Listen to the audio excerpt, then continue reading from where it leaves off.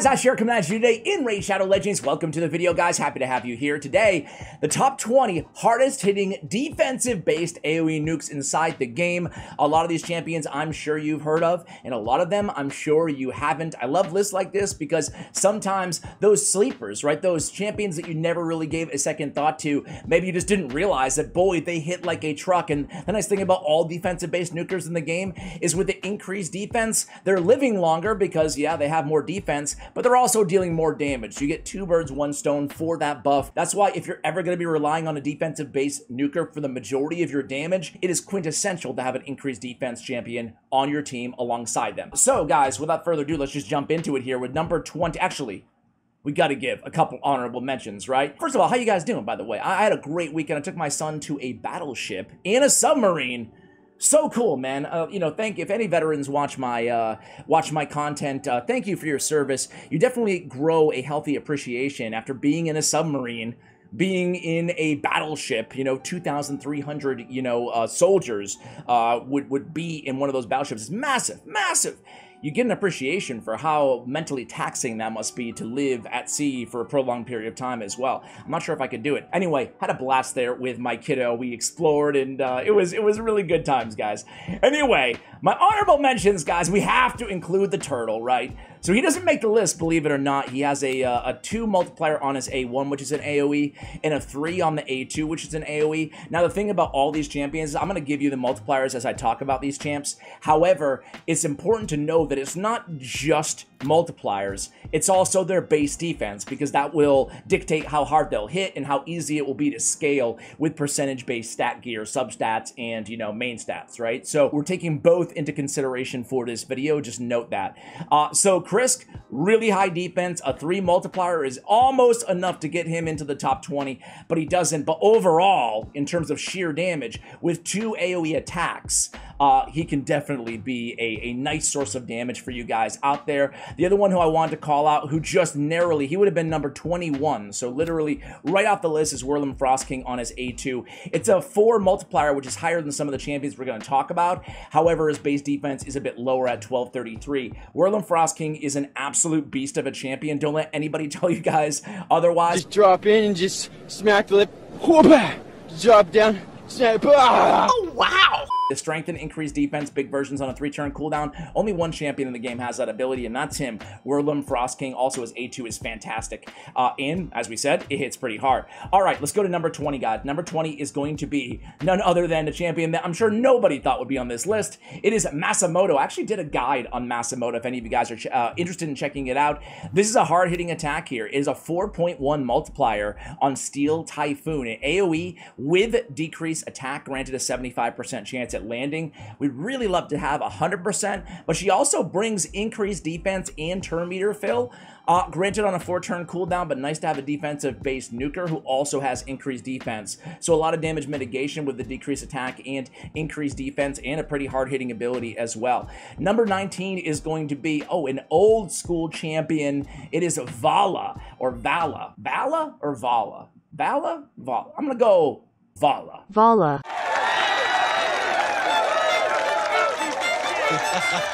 Vala is a great champion. Really, really cool. High base defense for an epic, especially 1409. And then on the A2, it removes all shield buffs from all enemies, then attacks all enemies. Also has a 50% chance of placing a decreased defense debuff on all enemies for two turns. She has a 50-50 decrease defense, which is not bad on three turn cooldown for a defensive based champion, right? Uh, and she's hitting for a 3.8 multiplier on this A2. And I remind you guys again, with that high base attack, really, really strong option. She also has the cool shield on this champion and increased defense on this champion and turn the champion's turn meter by 50% as well, which helps you get back to the A3 a little bit sooner. So yeah, Vala is a champion that I feel like a lot of guys sleep on out there and gals. A lot of people sleep on, uh, sleep on. I know what you're thinking. How did this happen? Next up, we have none other than Grimskin. He's got the poor fella had the oil spilled on him. It's like man-eater, but something something spilled. Is it a spill or is it just his skin? Is it like a tattoo? Is it a birthmark? Wash, wash, wash, wash, wash, wash. Either way, Grimskin, guys. On his A3 ability, it hits hard. It's a 3.9 multiplier, but 1421, again, very, very good base defense for an epic champion. We're used to seeing, you know, 11, 12, maybe 1300. There's not that many champions, epics, who are over 1400 on base defense, and with a 3.9, also a 100% chance when both to removing a random buff from the target. Uh, his A3 is actually a really hard-hitting ability. Not a lot of people realize that. Next up is going to be number 17, and it's none other than the girl herself, it's Umbral Enchantress. So decent base defense, 1354. On her A2, this is a 3.6 multiplier. She would not make the list for her A2, but on the A3, the ability that locks her out, but also places provoke for two turns on all the enemies.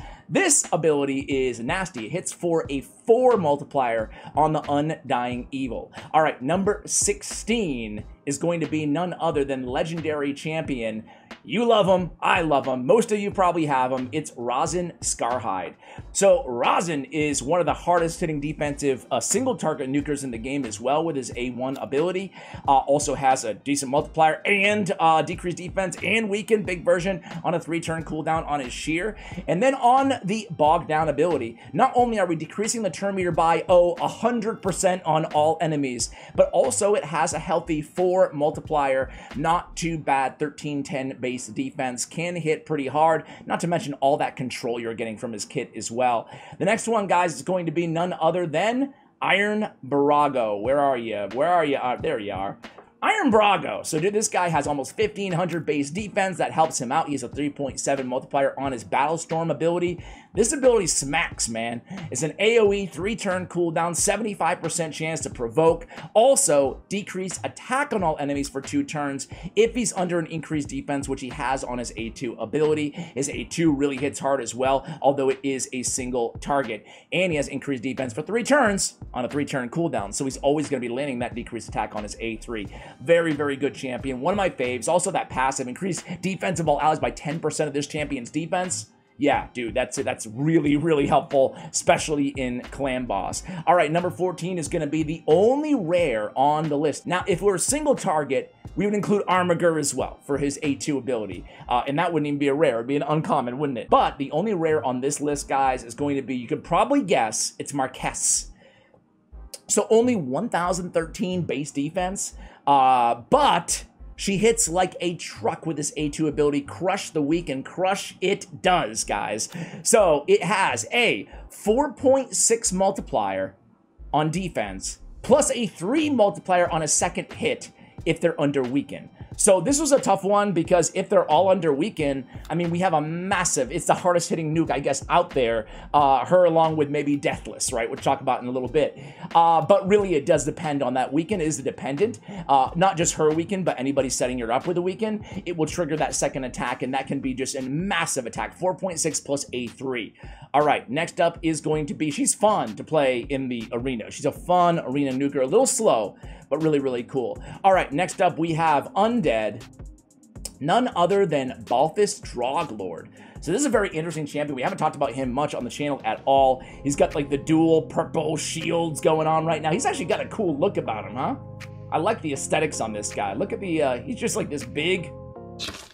I should note, I'm having some digestive distress. Skeleton dude in armor. Just no big deal with a double shield. Love it. You get it, Ash. You got a double shield, man. We get it. All right, an AoE would decrease crit rate on the A2 ability, and this has a 4.2 defensive multiplier, so a pretty hard-hitting Doom Wheels ability with the decreased crit rate. Not too bad. He has a one enemy provoke on his A3 ability, so overall, I have to be honest with you guys, I'm not a massive fan of this champion, but hey, at least he can hit hard with that A2.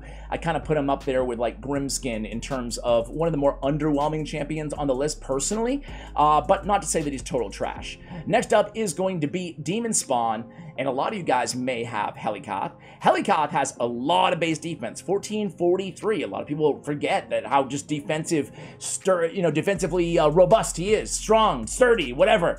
He's a defensive, uh, you know, beast, 1443. Attacks all enemies, places a shield on all allies for two turns based on his defense, which again scales pretty well. Uh, however, the cool thing is, is this attack also hits pretty hard. It's a 3.8 multiplier with that base defense, easy to scale up that damage as well. You guys know him for his block damage for two turns on a four turn cooldown that gets replaced by increased defense when it's removed, stolen, or expires. Uh, one of the better clan boss, uh, unkillable comps out there, but really can help anybody pretty much anywhere. I think that Helicath, I think that Brogni, uh, I guess those are two of my absolute fave fusions, personally. There's so many good ones, though, to choose from. Maybe I'll rank fusions in an upcoming video. Next up is number 11. Number 11 is to be none other than Tormin the Cold. So Tormin the Cold, guys, on his A1, has a 2 multiplier AoE attack. That's nice, but obviously that's not why we're talking about him. It's his A3 ability. There's a 4 multiplier, actually, I take that back, a 3.8 multiplier on his A3, but again,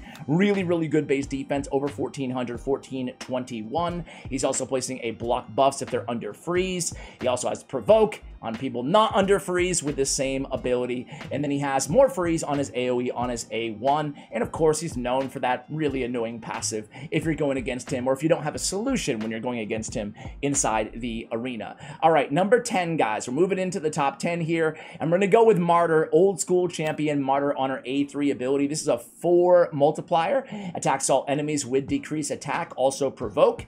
And then we have increase attack and counter attack on the 3-turn cooldown on her a2, which is fantastic. Again, we already talked about this earlier uh, with Masamoto, but having increased defense, or Iron Brago as well, uh, with a defensive-based nuker who can deal some damage is a really, really powerful pairing. All right, coming in at number nine, we're going to go right back to the Dwarves, guys. This dude is growing on me massively. Go.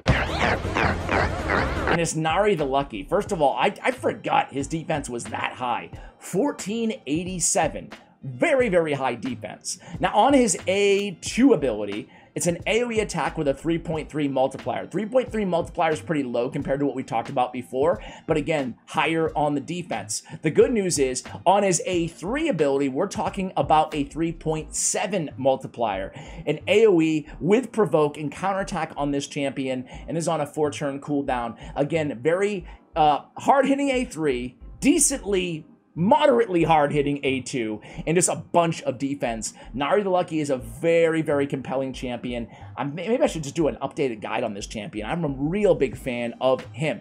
Number eight is going to be a champion that's uh, kind of new here, and it's Arndolf. Arndolf is an epic Bannerlord uh, uh, Magic Affinity champion, excuse me, on his base defense 1332, not too bad for an epic. And on his A2 ability, we're getting an AoE attack, 100% chance of placing a weakened debuff, big version, and has a 50% chance of placing a fear debuff for one turn. This is actually a pretty good ability on a three-turn cooldown, and it hits pretty hard.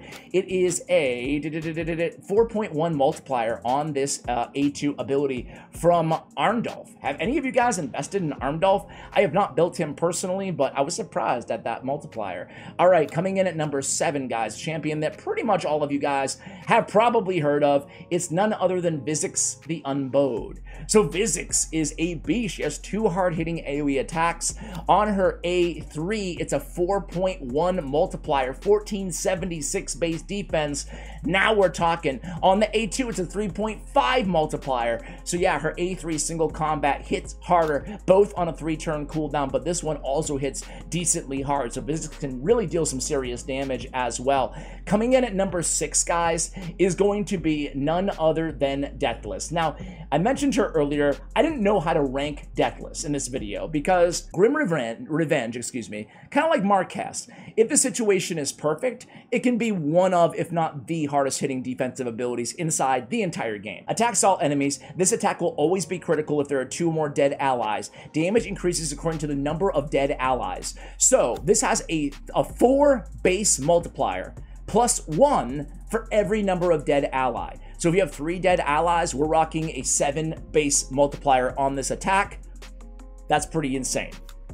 so there we go. There you go. So it depends on the number of dead allies, but it could be one of the hardest hitting attacks. What is her base defense? It's pretty low there at 1156, but still, if you're hitting a 7 or an 8 multiplier, that is very, very hard. All right, you can have some fun with that champion. Coming in at number 5, we're moving into the top 5 here, guys. At number five, it's going to be Tatura Rimehide.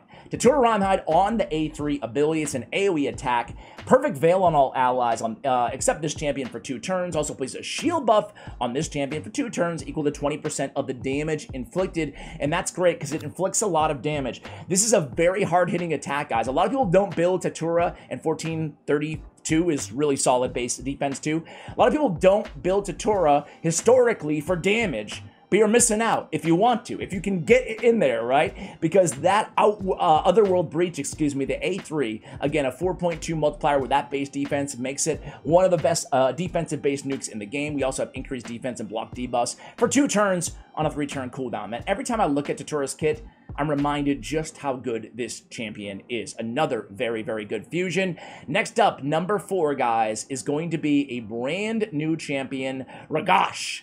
So Ragash on the A2, first of all, 1443 again. Everybody from here on out is going to have really, really solid. Actually, I lied. Most every champion from here on out is going to have very, very solid uh, base defense. That is the case with, case with Ragash. On the A2, we get decreased defense, we get a stun, three turn cooldown, and a 4.3 multiplier very, very, very hard hitting ability. Inches him right above Tatura Rimehide on the overall rankings. Coming in at number three, guys, and I, am a big fan of Ragash. Really, really fun champion to mess around with. Uh, next up, number three, the champion with. Is it the highest multiplier? No, it's not but very close to. It's Drextar Blood Twin, guys. So some of you might, this might not come as a surprise. Some of you might already know this, but this Burning Lash hits like a truck. If you have him built out with 100% crit rate and a little bit of crit damage as kind of a defensive-based nuker, this hits really hard. It has a 5.2 multiplier. Now his defense, almost 1400, so not bad at all, but not as high as some of the other champions that we've talked about so far on the list, but still with a 5.2 multiplier, yeah, that makes him one of the hardest hitting defensive champions in the game. Obviously, he's known for getting the most damage out of his passive while keeping himself alive with the A1 ability, a triple hitter as well on the A1. Great for Giant Slayer. All right, let's go in to the top two here, guys. Any guesses? Any guesses? The second hardest hitting champion in the game, defensive base, is going to be in the Ogryn tribe. It's none other than Ignatius. So Ignatius, similar to we talked about with Krisk, he has two AoE attacks. First of all, base defense is kind of low. If his base defense was a little bit higher, it wouldn't even be close. Ignatius would be the best nuker in the game, bar none, no one's even close. However, he makes up for it with multipliers, what he lacks on his defense. Uh, on the AoE, on the A2 ability, it's a 4.9 multiplier on Battle Shout. That's an AoE 75% chance of a provoke. On his A3 ability, it's a 5.6 multiplier. I want to say that is the highest number that we have read and we will read in today's video. A 5.6 multiplier on an AoE with HP burn that cannot be resisted on a 5 turn cooldown. Ignatius can smack, he can deal some serious damage uh, and provoke and lay down the HP burn that can't be resisted. A very, very, very competent defensive-based nuker and HP burner. Number one in the game. Any guesses, guys? Some of you guys know. After his more recent buff, it is Solis.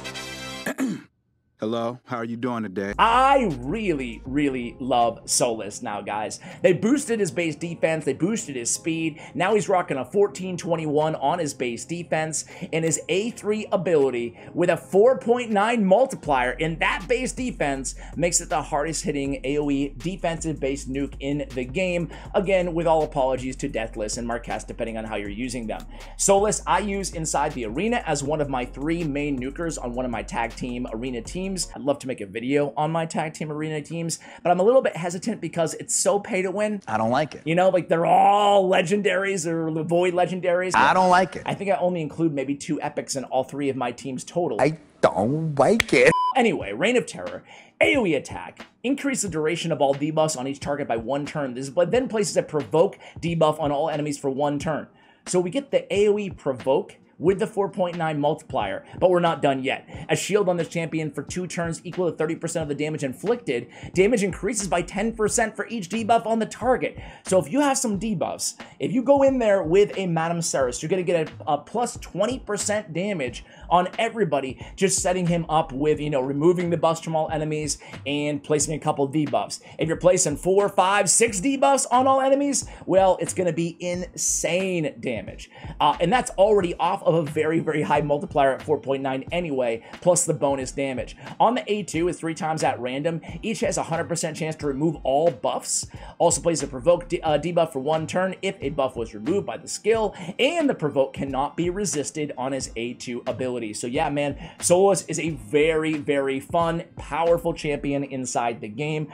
I do want to give one other shout out here, guys. Let me know if if I forget somebody who you're a big fan of. There's a lot of good defensive based nukers that I did not include because there's a ton of champions that are from like a 3 to a 4 multiplier, 3 to 3.5 multipliers on their AoE attacks. I could really spend all day talking about them. We have the Bear is one of them with his A3 ability. We have Mithrala Lifebane is right there. Just missed the cut. She has a really good AoE attack here on the A2 ability. Just, you know, I, I guess depending on the defense, depending on the multipliers, I guess you can make a her a case for her over Masamoto, over maybe Vala, maybe the bottom champions on the list.